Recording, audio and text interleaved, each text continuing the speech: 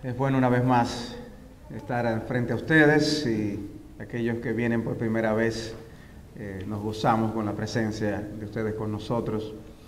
Eh, les decía el primer día que nosotros como congregación en Santo Domingo nos alienta mucho el saber que ustedes están aquí y los lazos de amor que eh, hay son fuertes y que la eternidad que pasaremos juntos es algo que a lo que miramos y buscamos.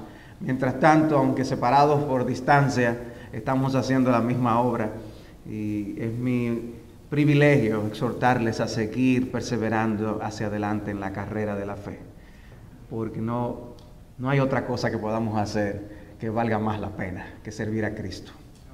Eh, gracias por eh, las oraciones vuestras, gracias por sostenernos. Estamos muy conscientes de que gran parte de lo que el Señor pueda hacer en la República Dominicana se debe al que el pueblo de Dios está orando. Y somos un solo pueblo en el Señor. Vuestras derrotas son nuestras derrotas, vuestras victorias son nuestras victorias. Vamos a tener otro momento de oración, vamos a rogar a Dios que envíe su espíritu y avive nuestros corazones. Padre, tú siempre has sido glorioso, pero nosotros no siempre te vimos glorioso.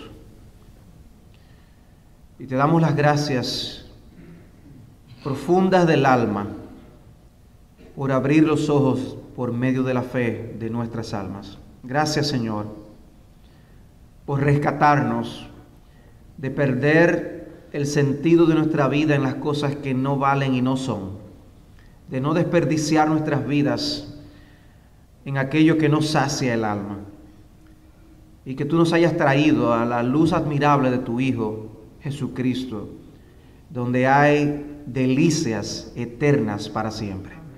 Te damos las gracias por Jesucristo y te oramos que uses tu palabra en esta mañana para movernos, inclinarnos, alentarnos en el gozo cristiano. Es nuestra oración que envíes tu palabra con poder, que tu espíritu opere en el corazón de cada uno conforme a nuestras necesidades y podamos salir de aquí sabiendo que cada uno de nosotros tuvo tratos contigo, tratos serios, tratos duraderos, para que se produzcan cambios, Señor, sustanciales en nuestras vidas, para alabanza de la gloria de tu gracia. Gracias una vez más, Señor, por esta oportunidad que nos das de juntos adorar tu nombre. Exaltado seas, alabado seas, entronizado en nuestros corazones. Te lo pedimos que lo hagas, que lo cumplas en el nombre de Cristo Jesús. Amén.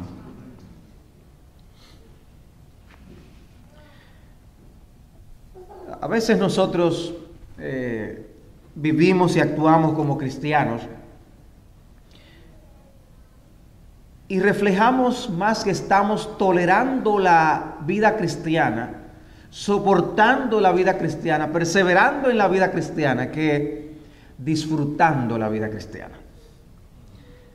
Y nosotros fuimos traídos a Cristo para disfrutar y gozar de nuestra salvación, no para nosotros tolerarla.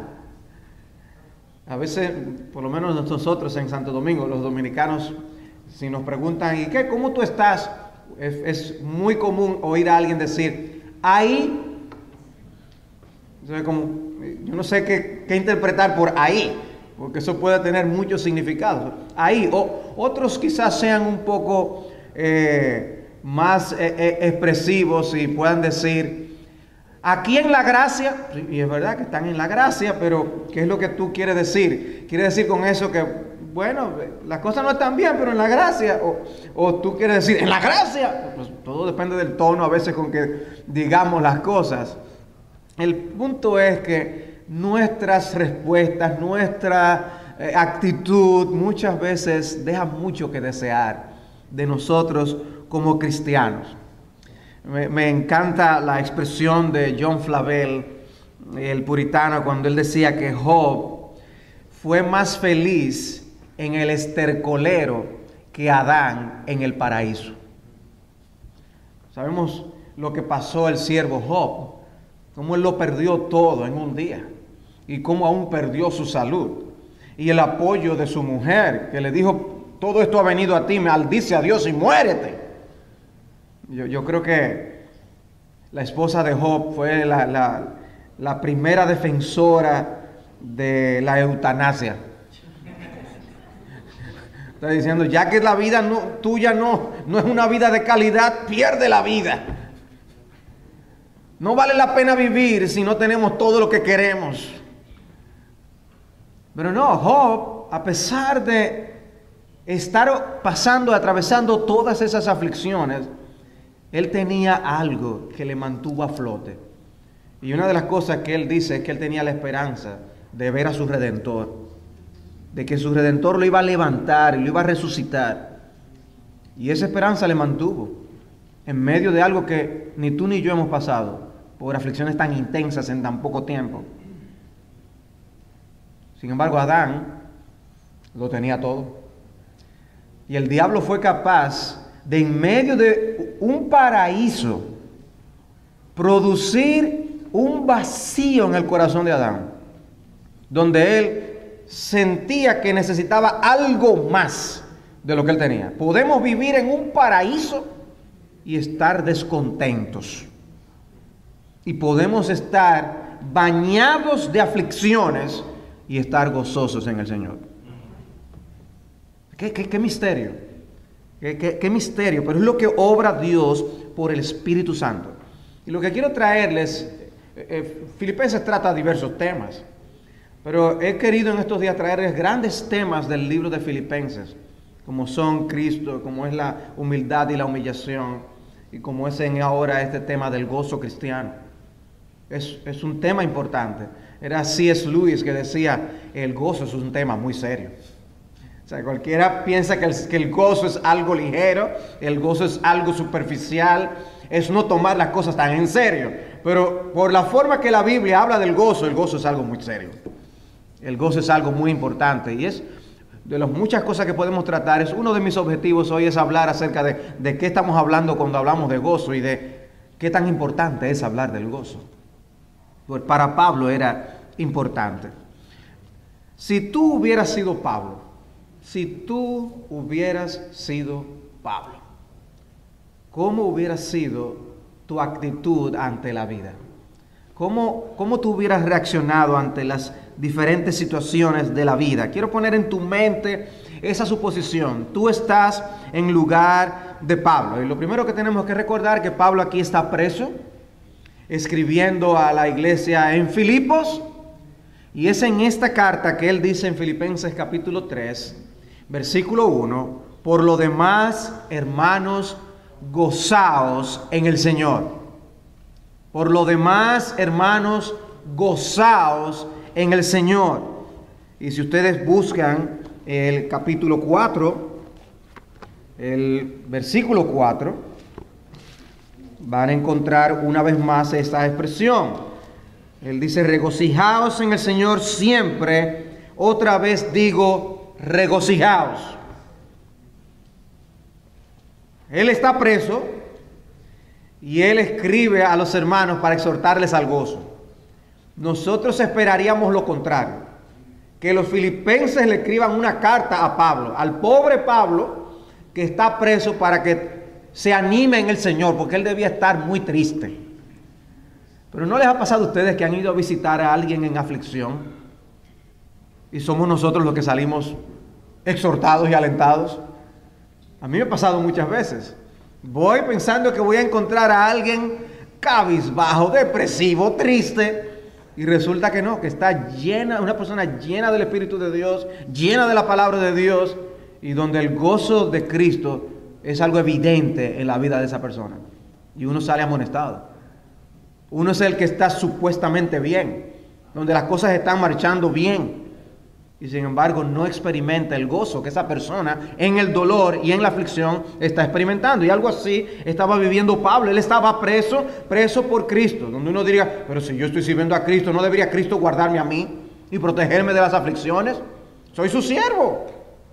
Pero el siervo de Dios estaba preso por causa de Cristo.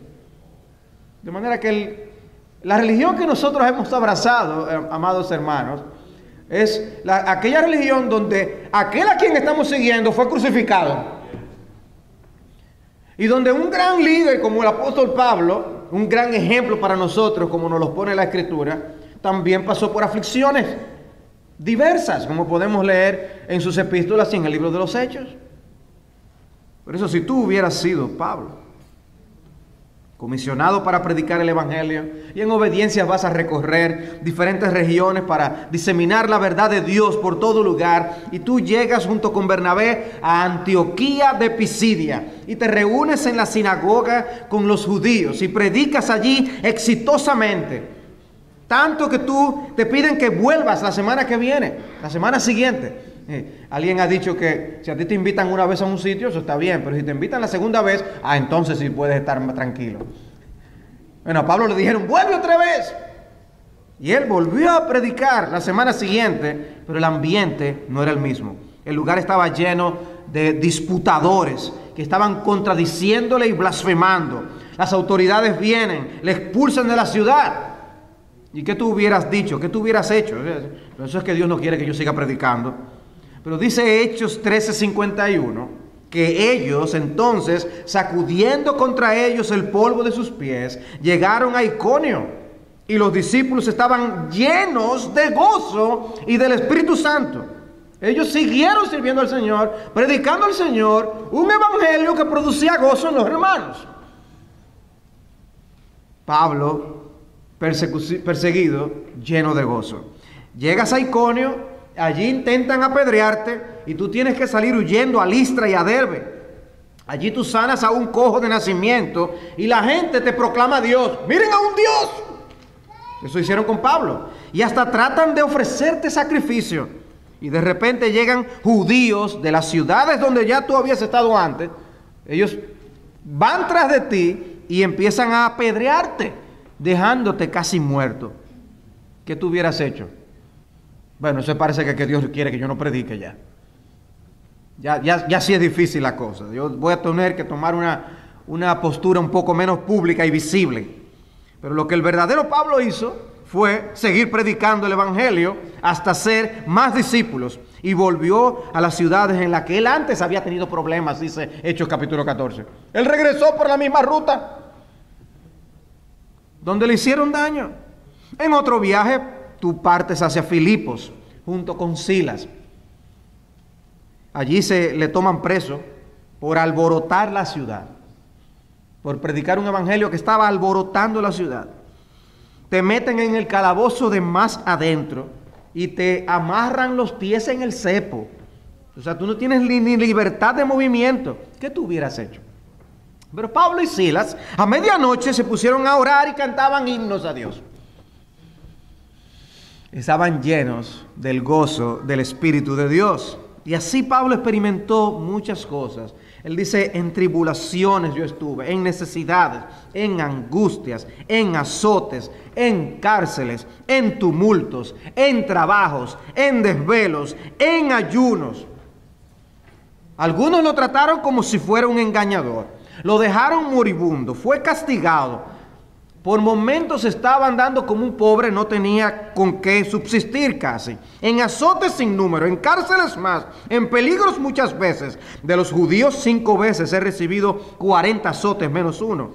Tres veces he sido azotado con varas una vez apedreado, tres veces he padecido naufragio, una noche y un día he estado como náufrago en alta mar, en caminos muchas veces, en peligros de ríos, peligros de ladrones, peligros de los de mi nación, peligros de los gentiles, peligros en la ciudad, peligros en el desierto, peligros en el mar, peligros entre falsos hermanos, en trabajo y en fatiga, en muchos desvelos, en hambre y sed, en muchos ayunos, en frío y en desnudez. La lista es interminable. Ahora, ¿cuál es la cara que tú le pones a Pablo cuando él está diciendo eso? En ayunos, sin desvelos, en tristeza y perseguido por ladrones. O él contando, yo he estado diciendo todo esto, pero dice, como entristecido, pero siempre gozoso. Él estaba contando esto lleno de gozo. Somos tratados de una manera que cualquiera estuviera entristecido, pero nosotros estamos siempre gozosos. Eso, hizo el apóstol Pablo. Si alguien debió quizás sumirse en melancolía y en tristeza por todo lo que estaba viviendo. Si alguien hubiera tenido la excusa humana, para eso hubiera sido Pablo. Pero él no se entregó a la tristeza, sino que él vivió el gozo de Cristo y fue capaz de exhortar a otros a vivir el gozo de Cristo. Y eso es lo que él hace en Filipenses y, en otras epístolas. Él, lleno del Espíritu Santo y del gozo del Espíritu Santo, puede exhortar a los hermanos a estar siempre gozosos. Ah, Pablo, tú lo dices porque tú eres una persona donde todas las cosas están bien contigo, adinerada, no tiene problemas. No, ese no era el caso. Ese no era el caso. Era alguien en aflicciones y en muchas tribulaciones.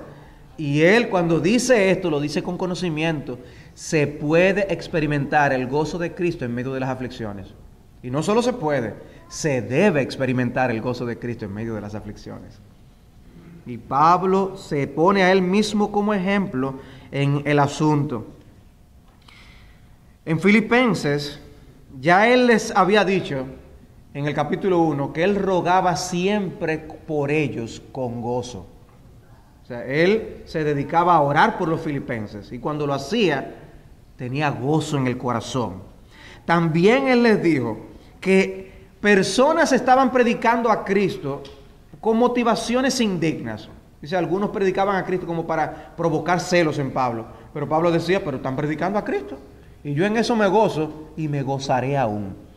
Cosas que quizás nos hubieran movido a nosotros a actuar con recelo, en el apóstol Pablo le movieron a actuar con gozo. Él no se puso a, quedar, a, quedarse hablando, también lo que son estas personas, son capaces de hacer cosas para que yo me sienta mal. No, él le dijo, ellos están predicando a Cristo como quiera. Yo no me voy a quedar fijándome en, lo en eso, que eso me puede causar a mí. Y yo me voy a gozar en que Cristo está siendo predicado. Todo depende cómo es, cuál es el enfoque que tengamos con la vida. Él le dice, completad mi gozo, pero no tratando de sacarme de la cárcel, sino en el capítulo 2, sintiendo lo mismo, siendo unánimes, teniendo amor los unos por los otros. Completen mi gozo. Sáqueme de aquí. No, él no le dio eso. Completen mi gozo siendo transformados espiritualmente y siendo unánimes en el Señor. Eso era lo que satisfacía el alma del apóstol Pablo. Y así les habla él del gozo y como si no les hubiera dicho mucho del tema, entonces le dice, por lo demás hermanos, gozaos en el Señor, gozaos en el Señor, gozaos en el Señor. Observen que es algo que tenemos que decirnos los unos a los otros. Observen que es algo que tenemos que decir a nuestras almas. Observen que es algo que es importante para la iglesia. Pablo lo dice y lo repite. Y por eso él dice, a mí no me es molesto el escribiros las mismas cosas y para vosotros es seguro. Para vosotros es una salvaguarda que yo les repita estas cosas que son importantes. A veces nosotros podemos decir, pero eso me parece que ya el pastor Josué lo había predicado. Habíamos oído de eso ya. pastor, pase de preprimario y siga ahora con primero y segundo grado. No, hermanos, hay cosas que todavía de preprimario necesitamos escuchar, las cosas básicas del Evangelio, de la palabra de Dios. ¿Saben por qué? Porque nos quemamos una y otra vez, no pasamos el examen, reprobamos tantas veces. No sé cómo tú te sientes escuchando a Pablo decir, gozaos en el Señor. Pero por mi experiencia yo les puedo decir, que ver este texto frescamente, de manera fresca otra vez, me muestra a mí lo mucho que me falta vivir, experimentar el gozo de Cristo como Cristo quiere que lo experimentemos. Y lo grande es que nosotros muchas veces encontramos excusas para no vivir esta, esta exhortación. Y, y decimos, no, lo que pasa es que Dios no me hizo con un temperamento gozoso. Y es verdad que cada uno de nosotros tiene una tendencia y temperamento por, por miles de razones, miles de razones. Pero eso no quiere decir que tú tengas excusa para no ser gozoso. Porque esto nos lo está diciendo el Espíritu de Dios a todos nosotros. Estad siempre gozosos. No algunas veces, No cuando tú te sientas como, sino siempre. Siempre gozosos. Y es un imperativo que el apóstol Pablo introduce aquí. Es un gozo que es en el Señor. Gozaos en el Señor. Y si tiene que repetirlo otra vez, Pablo lo repite. Gozaos en el Señor. Y si tenemos que repetirnos eso entre nosotros mismos, gozaos en el Señor. Gozaos, hermanos, gozaos. De manera que no despidamos este tema fácilmente y meditemos en él para nuestro beneficio espiritual. Hablemos un poco de la naturaleza del gozo cristiano. ¿De qué estamos hablando aquí? ¿A qué nos estamos refiriendo? El gozo cristiano no es aquel gozo que es común a todos los hombres. Está aquí el texto hablando de un gozo que es en el Señor. Es un gozo espiritual. Eh, en, la gracia común de Dios, el hombre experimenta muchos goces. El goce del matrimonio, por ejemplo, eso es un gozo. Dios le da el gozo matrimonial indistintamente a los hombres, sean creyentes o no. Eso es un gozo. Eso es algo bueno, el gozo de los hijos. Bien. Pero de lo que Pablo está hablando aquí es algo producido por el Espíritu Santo.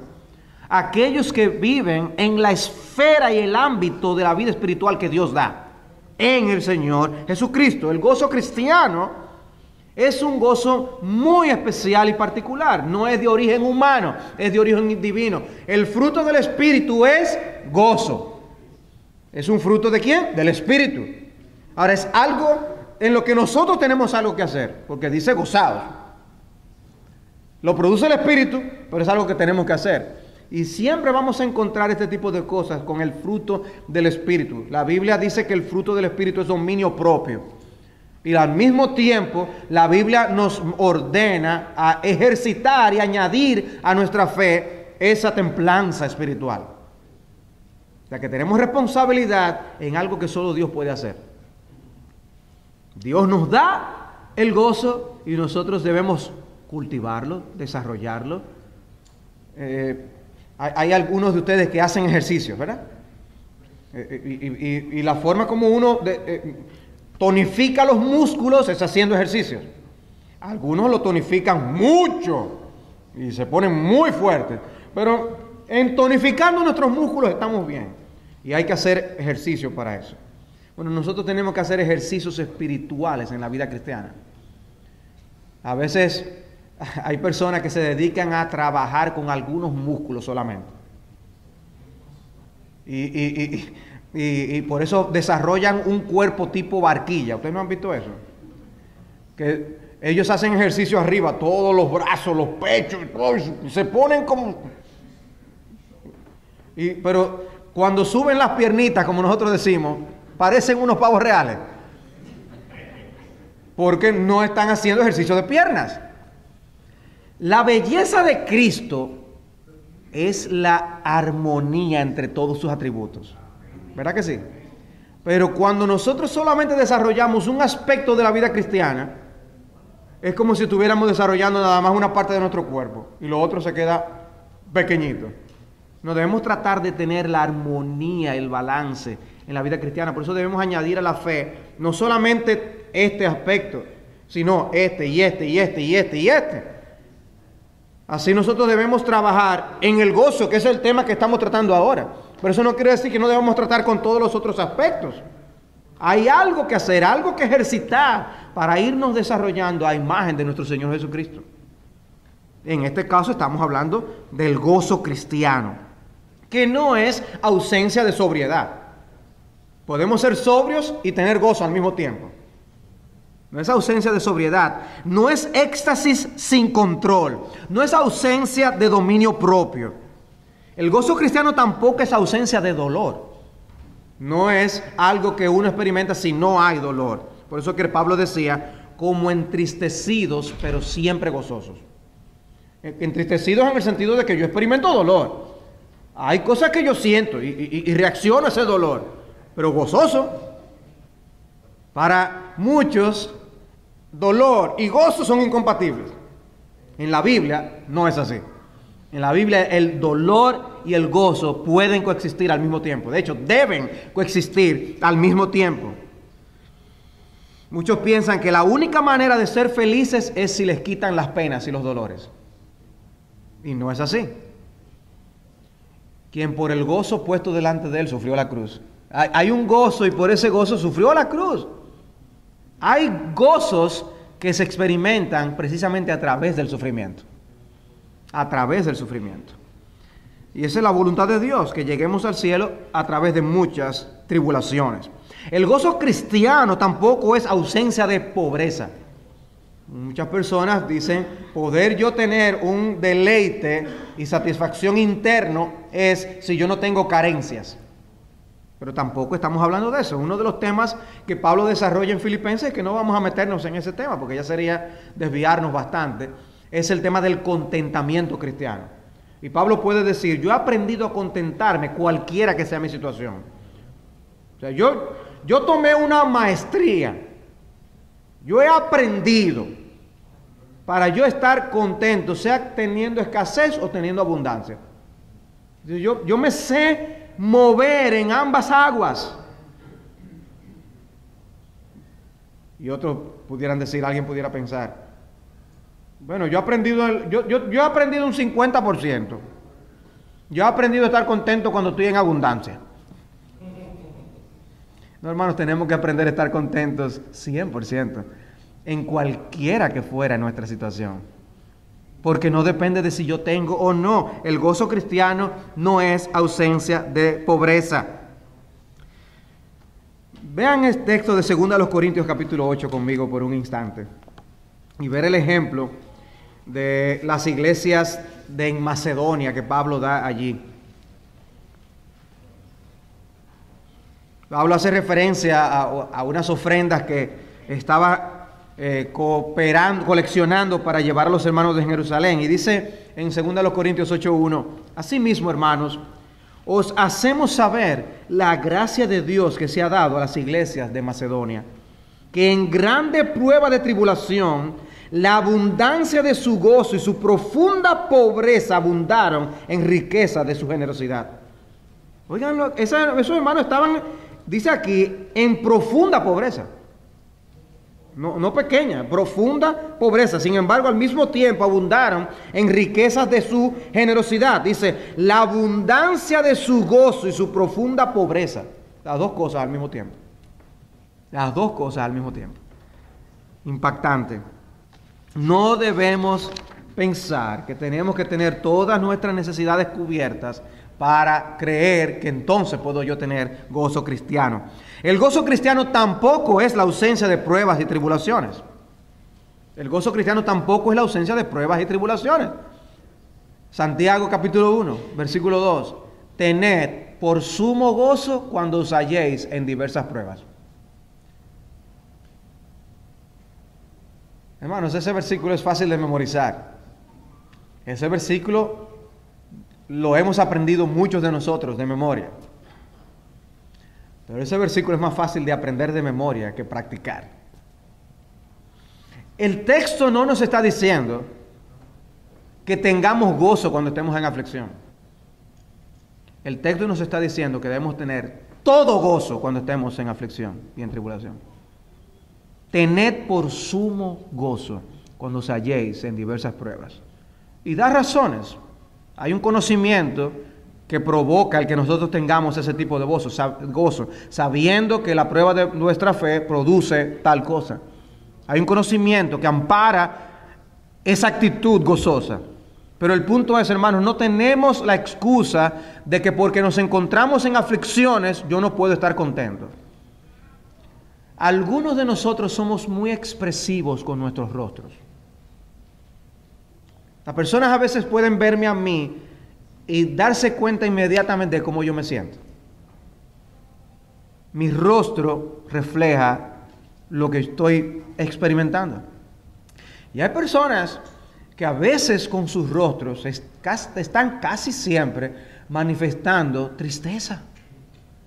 Y estoy hablando de hijos de Dios, cristianos. Que uno mira el rostro y uno sabe que están pasando por un problema. Y cuando uno averigua, uno puede darse cuenta que, es un problema, pero que no es un problema que no tenga solución. Es una incomodidad, si pudiéramos llamarlo.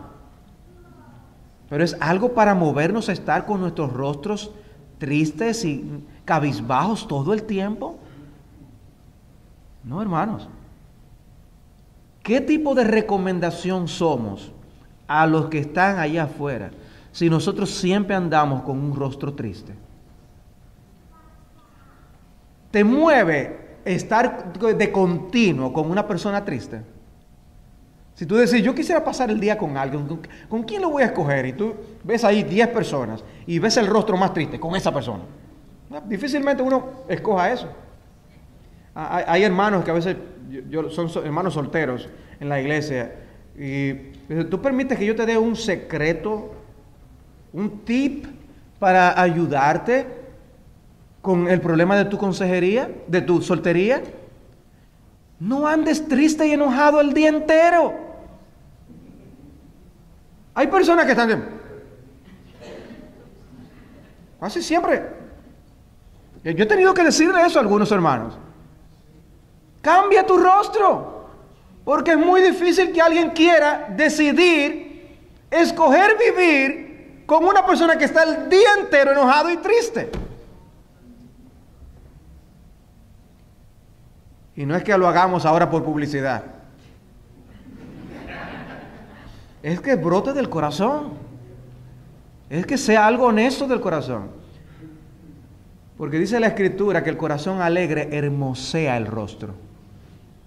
Hay algo, hay una conexión entre el corazón y los músculos de la cara. Hay algo. Yo me he atrapado a mí mismo a veces, conduciendo, con un rostro así. Hay razones allá afuera, muchas, para uno justificarlo. Pero cuando me atrapo a mí mismo así, trato de cambiar el rostro. Porque no debemos estar siempre con un rostro de esa manera. ¿Qué recomendación somos para los demás? A veces puede ser un gozo exuberante que tengamos, bien. A veces no va a ser tan exuberante y físico en ese sentido. Pero debemos experimentar el gozo cristiano, aún en medio de la aflicción. O sea, no es que estemos de risitas en cada momento, porque hay una contradicción en, alguien que, por ejemplo, haya perdido varios familiares en un accidente esta mañana y nos encontramos con esa persona, hay algo raro si nos encontramos con la persona. ¿Sabe que murieron todos mis familiares? vamos a decir, hay algo que no está bien de la cabeza. Dios espero, en medio de esa aflicción, es bueno ver al creyente experimentando gozo cristiano. Hermanos, es impactante ver a un cristiano que ha perdido un familiar en medio de un accidente experimentando el gozo cristiano. Es impactante. No porque tuvieran el rostro sonriente, pero podían ver el rostro sonriente de Dios en medio de la aflicción. Y poder eh, experimentar el abrazo consolador de Dios en medio de esa situación. Y aún poder comunicarlo a los demás. Es impactante ver eso. Y así nosotros tenemos en nuestro poder el recomendar el Evangelio que hemos abrazado por la forma como reaccionamos a nuestras aflicciones. ¿Cómo estás tú en cuanto al gozo de Cristo? ¿Sabes tú lo que es el gozo cristiano? El gozo cristiano es una respuesta alegre espiritual a las realidades espirituales que Dios nos ha dado. Es una respuesta, hay una reacción alegre interna del alma a las realidades espirituales. Dios nos ha dado todo. Dios, busquen Lucas capítulo 10 por un instante. Lucas capítulo 10. En, no tienen que buscar este, pero eh, eh, en Mateo 13 el Señor nos habla de alguien que encontró la perla de gran precio. ¿Recuerdan ese pasaje? ¿Y qué hace ese individuo? que con gozo vende todo lo que tiene para comprar el lugar, e, esa perla de gran precio. Con gozo, él no hace de que ahora voy a tener que vender yo todo ahora para comprar esa perla. O él, o él lo que hace es, voy a venderlo todo para comprar esa perla. Nosotros a veces vivimos Eh, sí, yo encontré a Cristo, Cristo perdonó todos mis pecados.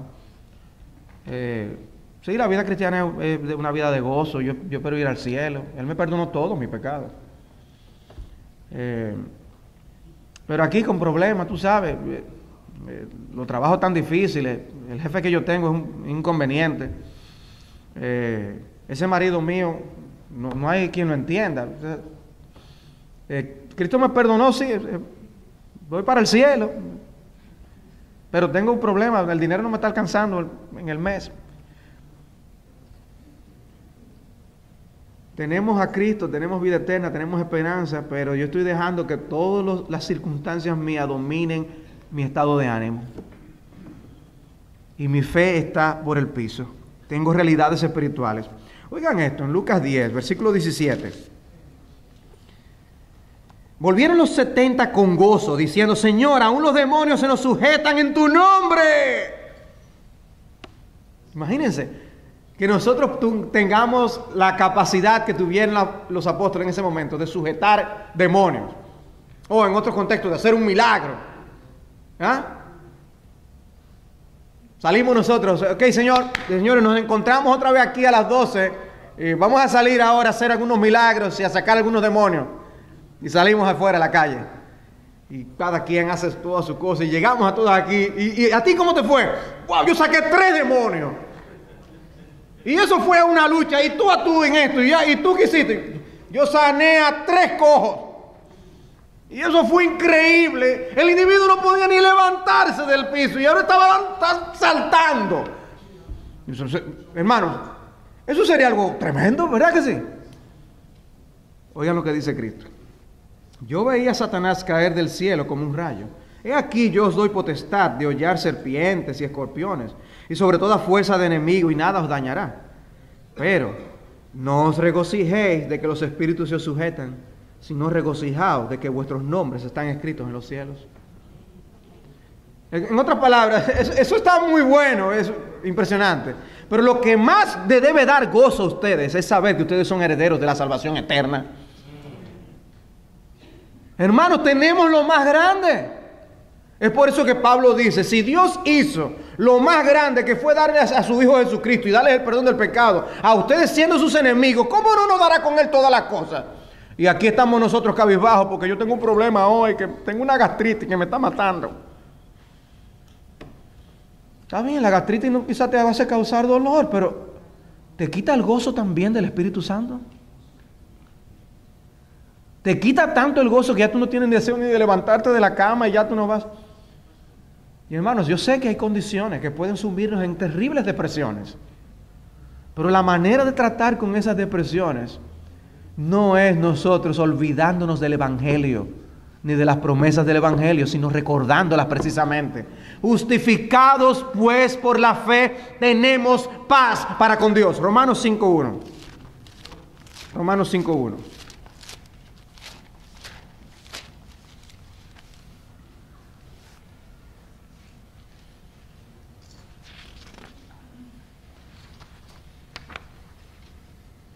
Dice, justificados pues por la fe tenemos paz para con Dios por medio de nuestro Señor Jesucristo, por quien también tenemos entrada por la fe a esta gracia en la cual estamos firmes y nos gloriamos en la esperanza de la gloria de Dios. Versículo 11. Y no solo esto, sino que también nos gloriamos en Dios por el Señor nuestro Jesucristo, por quien hemos recibido ahora la reconciliación.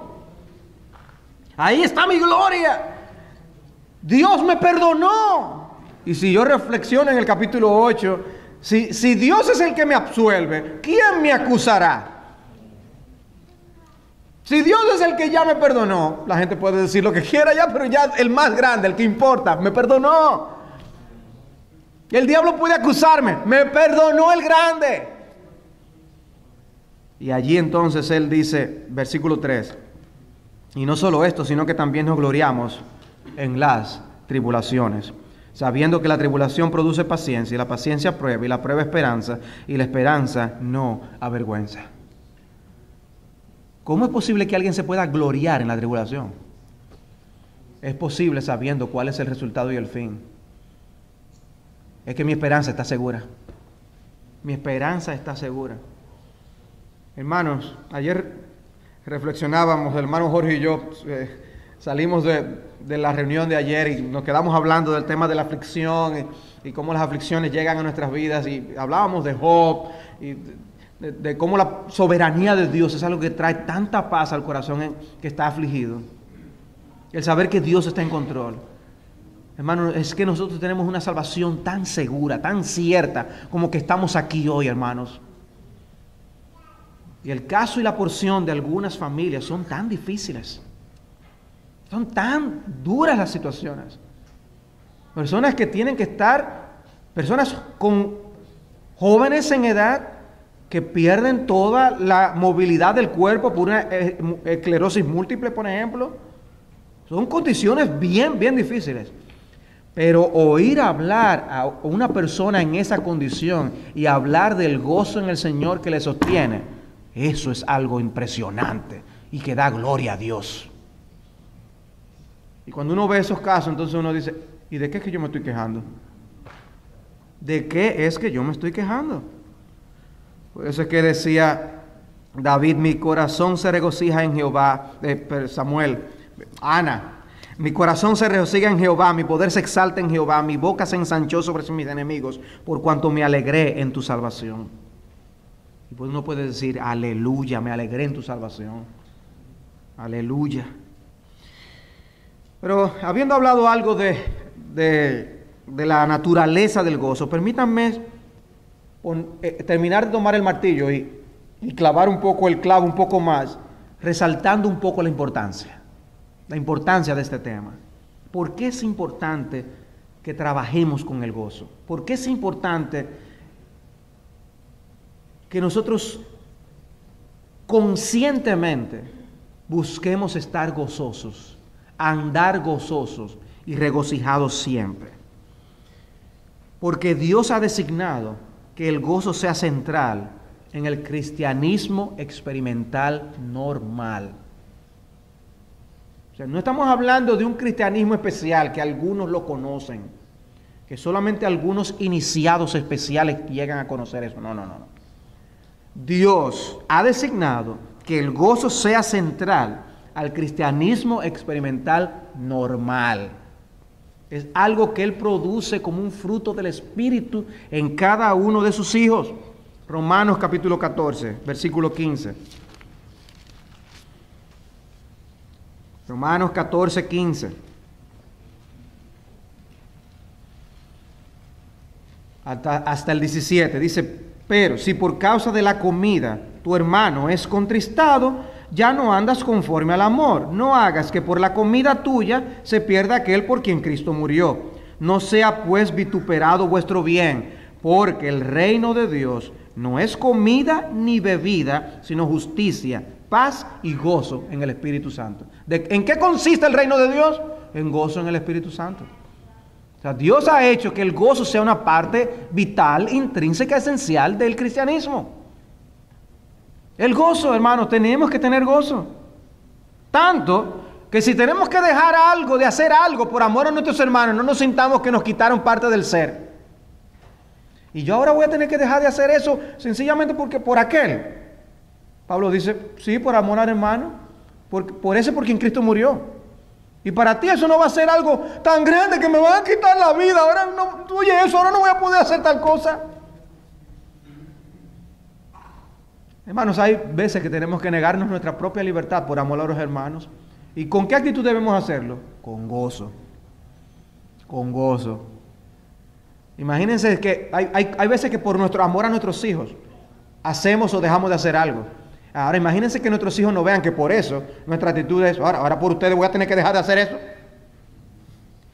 ¿Qué le estamos qué recomienda estamos haciendo del evangelio ante nuestros hijos? Muy malo. Nuestros hijos deben ser los primeros que vean que Cristo produce gozo en el corazón.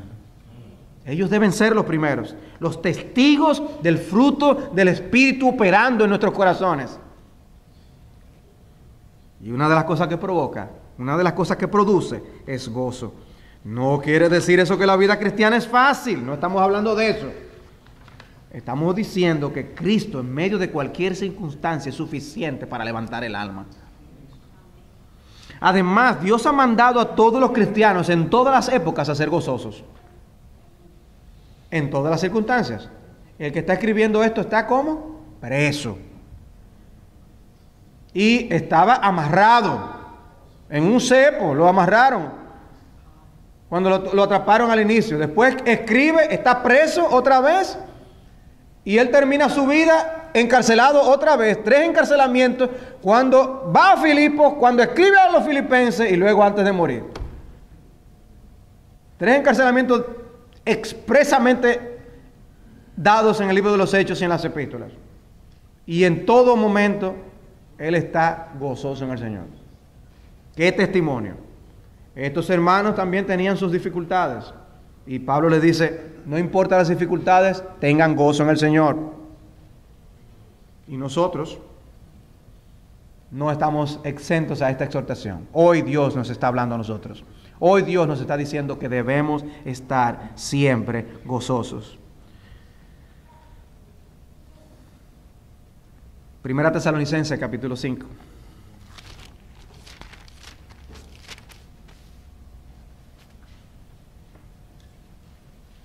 Versículo 16. Otro versículo fácil de memorizar. Estad siempre gozosos. Estad siempre gozosos.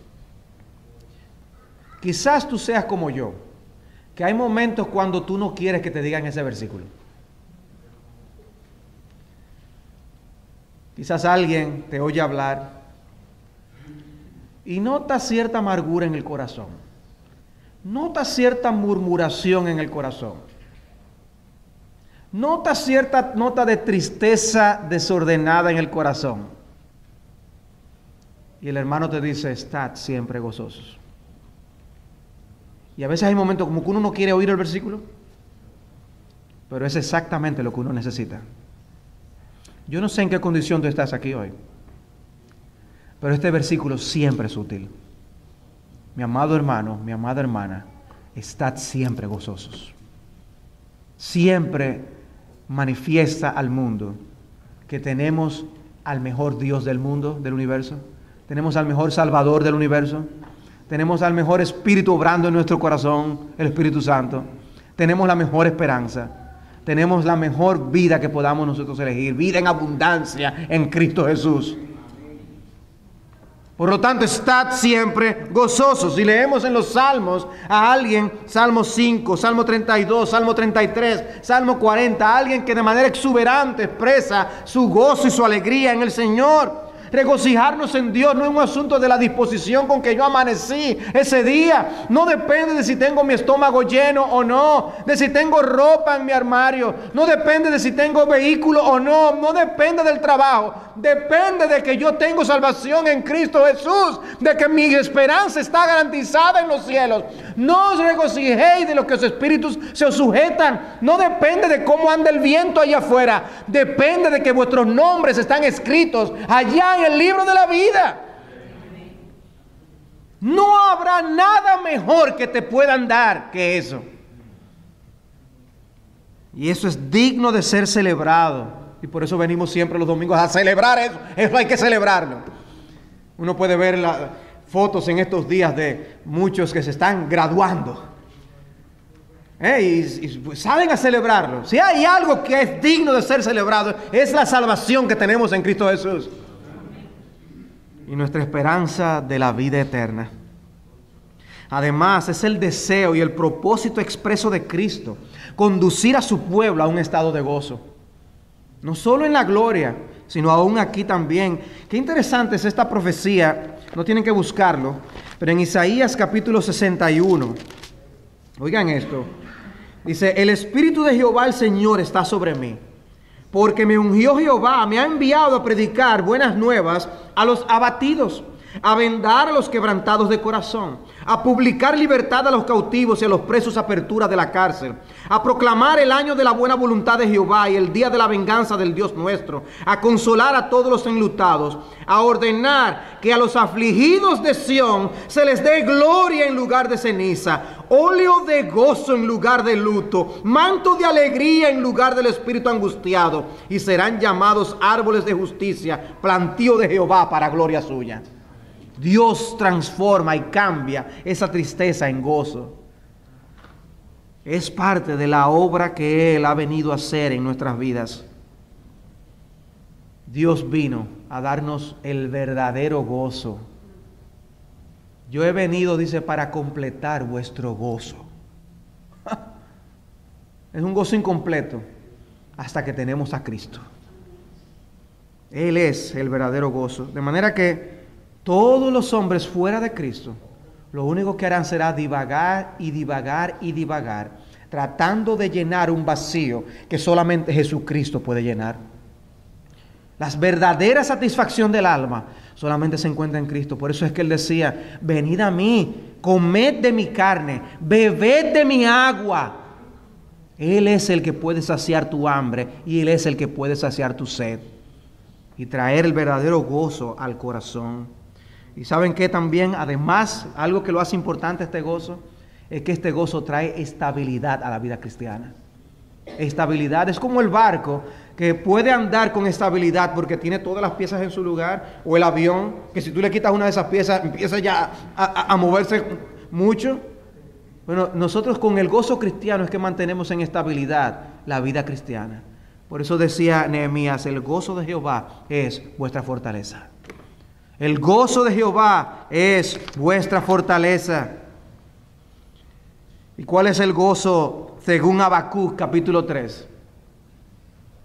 Que yo puede, puede ser que yo no encuentre vacas en mi finca, puede ser que yo no encuentre frutos en los árboles que yo tengo plantados en mi finca, pero con todo yo me alegraré en Jehová. Con todo yo me alegraré en Jehová y eso te permitirá tener una vida cristiana estable y que dé gloria y deleite al nombre de nuestro Dios.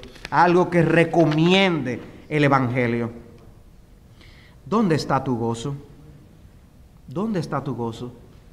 Dice Romanos, y el Dios de esperanza os llene de todo gozo y paz en el creer. Romanos 15, 13 y el Dios de toda esperanza, el Dios de esperanza os llene de todo gozo y paz en el creer, para que abundéis en esperanza por el poder del Espíritu Santo. Una de las tendencias hoy es ver el poder del Espíritu Santo manifestándose en obras portentosas, en milagros, en dones extraordinarios. Una de las cosas que enseña la palabra de Dios es que el poder del Espíritu Santo se manifiesta de manera especial en la transformación de un alma, de la muerte a la vida, y en manteniendo a esa alma viviendo en santidad para la gloria de Dios. Llenos del Espíritu de Dios, es que por eso podemos ser los esposos y las esposas que debemos ser, los hijos que debemos ser y los padres que debemos ser, los empleados y empleadores que debemos ser. Efesios capítulo 5. Y aquí dice que el poder del Espíritu Santo, una de las cosas que hará, es que producirá gozo en nuestro corazón. Gozo en nuestro corazón. O que el Espíritu venga a nuestro ser con tal poder que nos inunde de un gozo que no pueda ser tocado por las circunstancias que nos mueven, se mueven a nuestro alrededor. Y que nos den una estabilidad que permitan que este barco llegue hasta la Canaán celestial. Qué gloriosa salvación. Qué esperanza tan gloriosa. Vamos a orar. Padre, te damos gracias. Te damos gracias del corazón por lo que tú has hecho por nosotros. Gracias por, por no pagarnos como nos merecemos y gracias por darnos una salvación, una esperanza más grande de lo que nos imaginamos. Te pedimos, Señor, que tú nos concedas poder obedecer esta exhortación de regocijarnos en el Señor siempre. Que tú nos concedas andar siempre gozosos. Que tú nos concedas alentarnos los unos a los otros al gozo cristiano y que tú nos permitas ser de testimonio a aquellos que no lo tienen, para que buscando a Cristo encuentren al único que puede traer satisfacción al plena para el alma. Gracias, Padre, por Jesucristo. Gracias por el perdón de nuestros pecados y gracias por la esperanza eterna que en Cristo nos has dado. En su nombre, amén.